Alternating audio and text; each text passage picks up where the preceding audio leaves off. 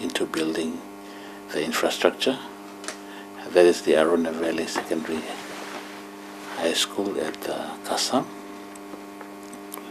We just completed two duplex teachers' house, and we are trying to finalize the basic startup infrastructure uh, so that we can accommodate the uh, grade first grade 11